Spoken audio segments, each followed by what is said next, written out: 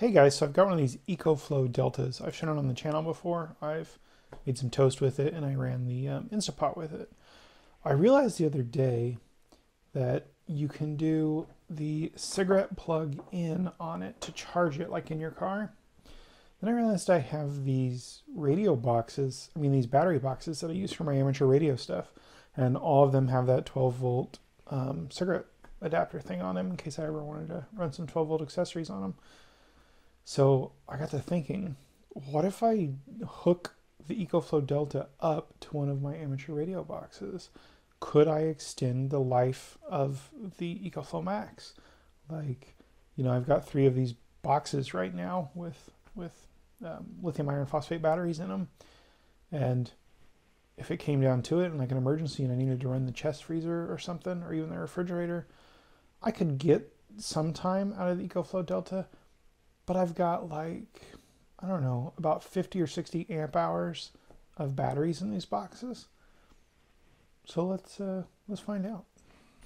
So we're just going to take this, plug it into the side real fast. All right, so we've got that plugged in and this should in theory charge that. Let me show you these battery boxes real fast. We'll do my small one first. This is just a nice little, you know, small case. There's a Bioenno in here. Um, I think it's 15 or 20 amp hours. I forget which one I have in here. And then here on the end, let me open it. I've got my power pole. There we go. My 12 volt. And then on the right over there, I've got some USB that do power delivery.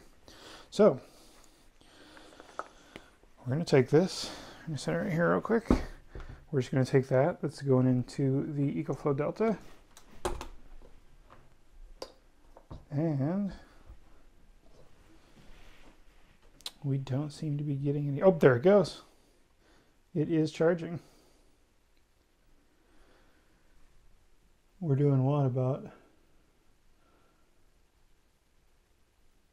mm, 75, 80 watts off of that one. So clearly this is going to work. Um, let's try it a different way.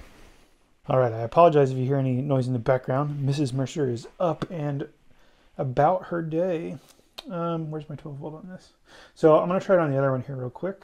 If I can remember where my 12 volt is. It's Anderson, Anderson, USB, USB, USB. So this must be, nope. Oh, so I don't actually have um, 12 volt on these boxes, but that's cool because not planned or anything. I was going to do this to test the watt meter. We can hook this into Anderson power pole. We give ourselves some 12 volt. I need to order another one of these for the other box. So we'll just go ahead and we'll plug in there. We'll turn the unit on because this one does have a power button. We're gonna, oop, I guess I gotta take the cap off. It'd help if I was with it this morning, guys. Do that, go and get this out of the way. And we saw a delay last time. Yep, there it goes. So this one looks like it's gonna probably get up to about 80 watts itself. Obviously, if I've got it plugged into something like the refrigerator or the freezer, it's going to draw down faster than these can charge it, but it'll buy me a little bit of time.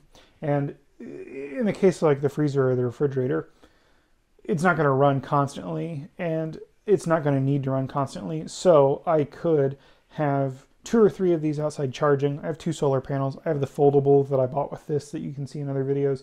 And then I just have a 100 watt um, traditional panel that I bought from Renogy. I have a solar controller that I can charge one of these at a time with, plus that can take its own solar in. So in theory, you know, I could have one of these outside always charging, one of these constantly feeding that as I'm drawing power down. It would buy me a little bit of time. And then like with the fridge or the freezer, it's not going to kill it if it I unplug it for an hour and let this top off because it'll retain some of its coldness. So yeah, um, pause the video again real quick and I'm gonna put my Power Max meter on here too because I want to see if it's telling me the same thing this is. So I'll be right back. So we're just gonna go and plug this in. I'll have to unplug that for a second. We want this to go into source. Yeah. it's, it's early in the morning. Is that gonna work? There we go. And then we'll put this back in here. All right, can you see that? Not very well. Okay, there's the draw. Give it a second to get to what it's going to peak at.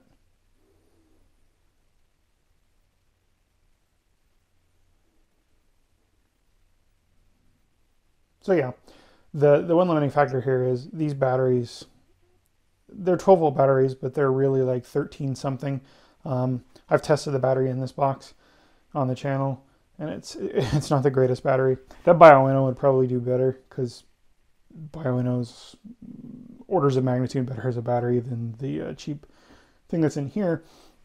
We're drawing what 12.62, 12.59, 12.61. So let's call it 12.6 volts while this is charging.